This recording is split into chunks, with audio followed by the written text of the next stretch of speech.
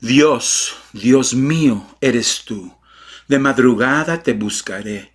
Mi alma tiene sed de ti, mi carne te anhela. En tierra seca y arida donde no hay aguas. Salmo 63, 1. El rey David escribió estas palabras mientras se escondía en una cueva en el desierto de Judea. Esta era una época oscura de su vida donde había sido exiliado de su pueblo y su tierra natal. Fue separado de sus amigos y perseguidos por sus enemigos.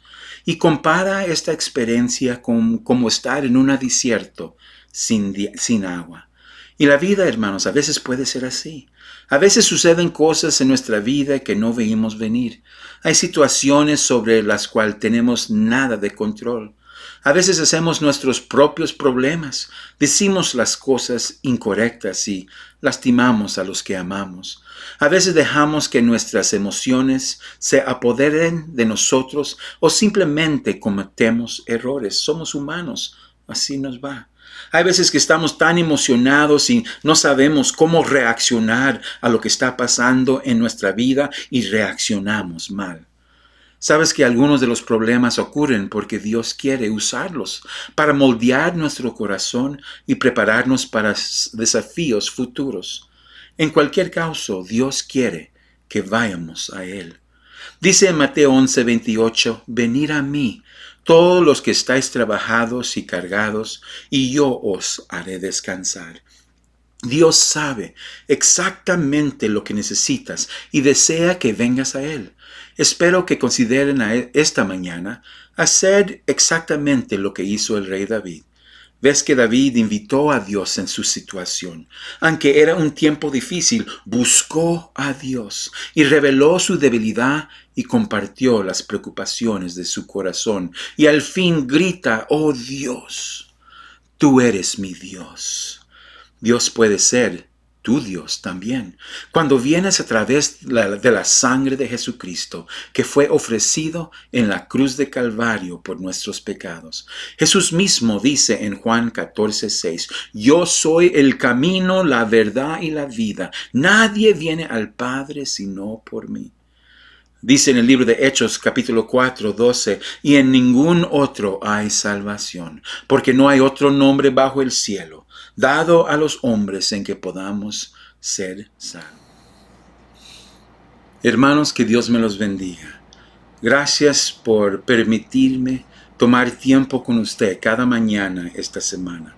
Espero que haya sido una bendición. Hermanos, espero que hayas sentido una presencia de Dios, que te haya dado un paz, y te ha dejado tranquilos. Espero que sientes esa paz porque sabes que el Espíritu Santo está sobre ti y que Dios está cerca. Hermanos, espero que te recuerdes de las lecciones que hemos aprendido, que Dios está entusiasmado, que le encanta pasar tiempo contigo cada mañana.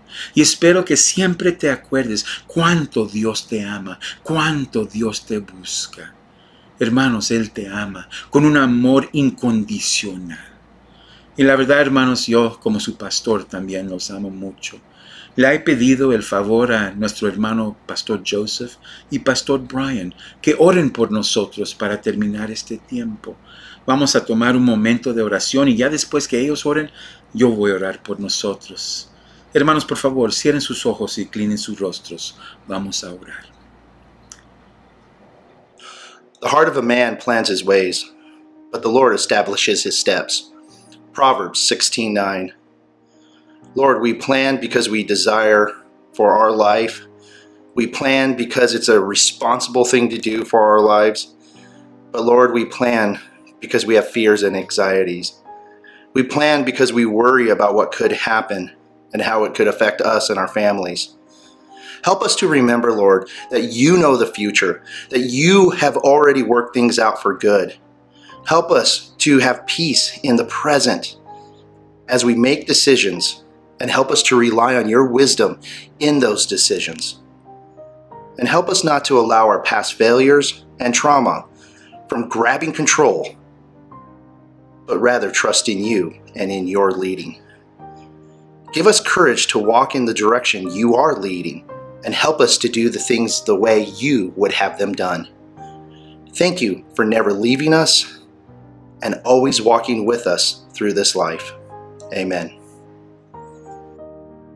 In Ephesians chapter 4 verses 1 through 3, the apostle Paul wrote, I therefore, a prisoner for the Lord, urge you to walk in a manner worthy of the calling to which you have been called, with all humility and gentleness, with patience, bearing with one another in love, eager to maintain the unity of the Spirit in the bond of peace.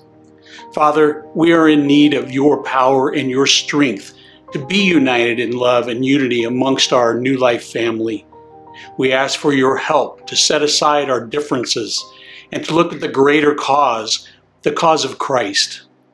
Please help us to truly live out a life of love and compassion for each other in all humility.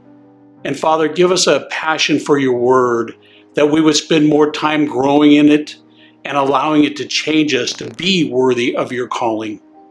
We need your word to give direction to our lives, and we need its wisdom to guide us as we seek to bring honor and glory to you. We thank you that your Son paid the price for our sins on the cross. We thank you that you are always with us, and we thank you for giving us hope, a hope found in Jesus Christ alone. In his name, the name above all names, we pray. Amen. Padre Celestial, Santo y glorioso es su nombre en toda la tierra. Gracias por guiarnos en esta semana para reunirnos en oración y escuchar su voz. Gracias por esta comunidad de creyentes que ha sido tocado por su gracia cada mañana. Por favor, Señor, ayude a sentir su presencia y que cada uno experimente su profundo amor de manera regular. Protégenos, Señor, de aquellos que nos harían daño y ayúdenos a seguir dando pasos de fe. En esta mañana, Señor, te agradezco por ser mi Dios. Te agradezco por su consuelo, por su fuerza y por su presencia constante. Y más que todo, Señor, gracias por ser mi Dios y por ser la primera voz en mi día. En el nombre de Jesucristo. Amén. Hermanos, que Dios me los bendiga y que pasen un alegre y fin de semana. Que Dios me los bendiga.